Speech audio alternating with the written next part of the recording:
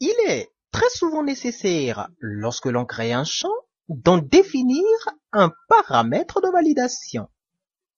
Le paramètre de validation d'un champ est une valeur déterminant la validité de toutes les valeurs qui seront saisies.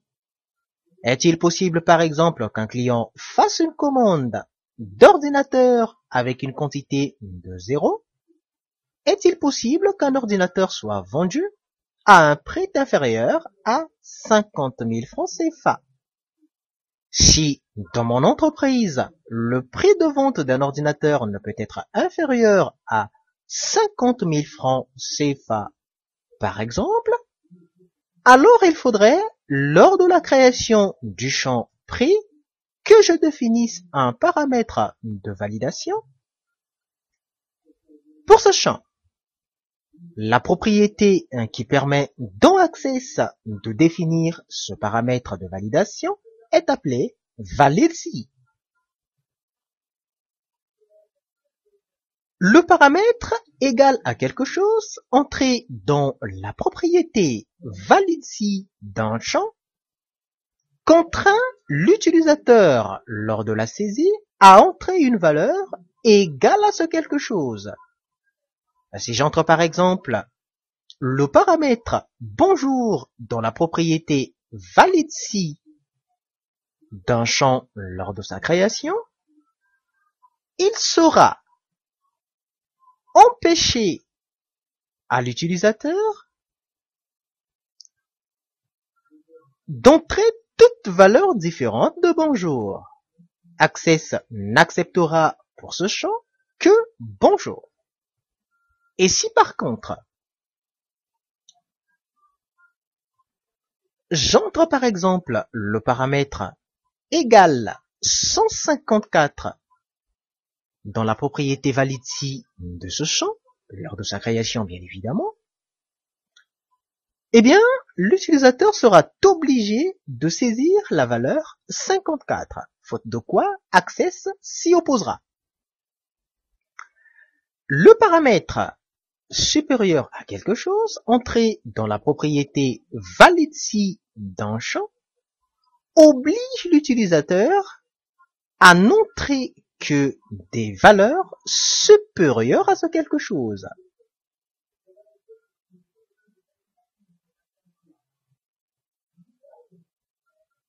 Si le paramètre entré dans cette propriété est par exemple supérieur à 50, eh bien l'utilisateur ne pourra entrer pour chacune des valeurs de ce champ chacune des valeurs de ce champ contenant cette propriété que des valeurs strictement supérieures à 50. Si le paramètre entré est par contre 12 supérieur à 12, deuxième mois 2012, eh bien, toute date saisie dans ce champ devra être postérieure, c'est-à-dire supérieure au 12 Deuxième mois 2012. Pour le paramètre inférieur à quelque chose, seules les valeurs inférieures à ce quelque chose seront acceptées. Si j'entre par exemple comme paramètre de validation inférieur à 35, eh bien, toutes les valeurs supérieures à 35 entrées lors de la saisie dans ce champ ne seront pas acceptés. Il est également possible d'utiliser le paramètre supérieur ou égal à quelque chose, c'est-à-dire au minimum quelque chose, inférieur ou égal à quelque chose, et différent de quelque chose. Si j'entre par exemple différent de 200, ce paramètre, dans un champ, eh bien la valeur saisie devra être impérativement et impérativement différente à 200. Si j'entre par exemple dans ce champ lors de la saisie 150, Access s'y opposera, cette valeur ne pourra pas. Si j'entre par exemple 200, hein, devrais-je dire, lors de la saisie dans ce champ, le champ contenant la propriété valide si avec le paramètre différent de 200, eh bien Access s'y opposera, Access s'opposera à toute saisie de valeur égale à 200. Toute valeur saisie dans ce champ, le champ contenant le paramètre défini dans la propriété valide si, bien évidemment, devra être différent de 200. Si par contre, je saisis dans, j'entre dans la propriété valide si de ce champ différent de ordinateur, eh bien, seules les valeurs différentes de ordinateur seront acceptées. Pour le paramètre valeur numéro 1 ou valeur numéro 2, l'utilisateur devra saisir une valeur correspondante à valeur numéro 1 ou à valeur numéro 2. Si le paramètre entrée est par exemple 200 ou 150, eh bien l'utilisateur, lors de la saisie, sera obligé d'entrer la valeur 200 ou la valeur 150. Si l'utilisateur lors de la saisie essaie d'entrer une valeur différente de ces deux valeurs, Access s'y opposera, la valeur ne sera pas enregistrée.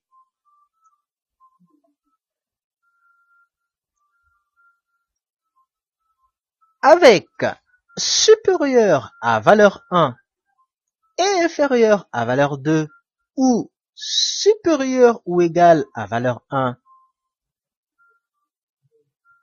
et inférieur ou égal à valeur numéro 2, l'utilisateur ne pourra entrer que les valeurs comprises entre valeur 1 et valeur 2.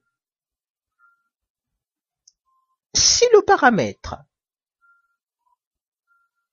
entrée est par exemple supérieur à 12 et inférieur à 15, eh bien, seules les valeurs qui sont à la fois supérieures à 12, supérieures à 12 et inférieures à 15 seront acceptées. Si ce paramètre est défini comme paramètre de validation d'un champ, l'utilisateur ne pourra pas saisir, par exemple, la valeur 11, car la valeur 11 est en effet inférieure à la valeur 12. Toute valeur saisie devra être, dans ce cas-là, supérieure à la valeur 12, strictement supérieure, et inférieure à la valeur 15. Si par contre j'entre dans ce champ le paramètre de validation supérieur ou égal à 22 et inférieur ou égal à 25, eh bien, la valeur saisie par l'utilisateur devra être comprise entre 22 et 25. Il sera impossible qu'une valeur, que la valeur saisie soit supérieure, par exemple, à 25. Enfin,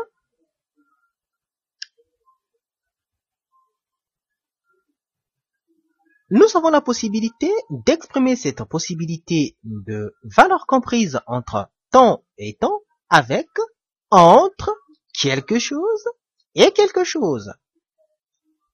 Si le paramètre entre quelque chose et quelque chose est entré dans la propriété valide si d'un champ, eh bien, l'utilisateur sera comme précédemment comme pour le cas précédent, obligé de taper une valeur comprise entre quelque chose et quelque chose.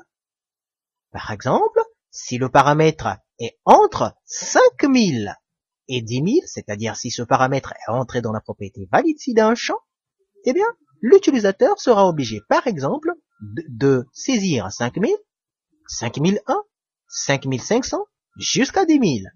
Pas au-delà, ni de ce côté, ni de ce côté.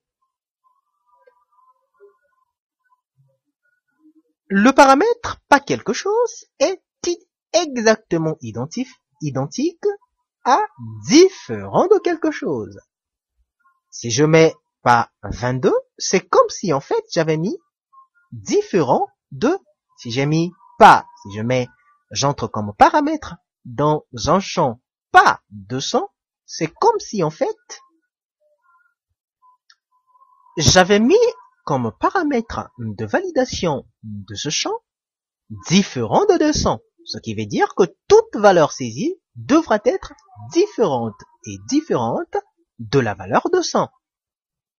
Si le champ contenant ce paramètre de validation reçoit une valeur égale à 200, eh bien il ne l'acceptera pas. Nous avons enfin, pour finir avec les différents paramètres de validation que nous devrions découvrir comme quelque chose. Avec le paramètre de validation comme quelque chose, j'ai la possibilité de contrôler si les premiers caractères ou derniers caractères de la valeur en cours de saisie correspond bien à ce que j'attends. Si j'entre par exemple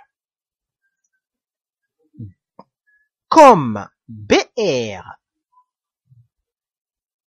avec à la fin le caractère astérisque qui représente n'importe quel caractère à cet endroit, n'importe quel nombre de caractères à cet endroit, eh bien, l'utilisateur lors de la saisie sera obligé de taper une valeur commençant par BR et ayant pour terminaison n'importe quel nombre de caractères à cet endroit. Si par contre je tape comme 0,5 avec terminaison le point d'interrogation comme paramètre de validation d'un champ, eh bien l'utilisateur sera obligé de taper une valeur commençant par 0, 5 et terminant par n'importe quel caractère, cette fois un seul caractère.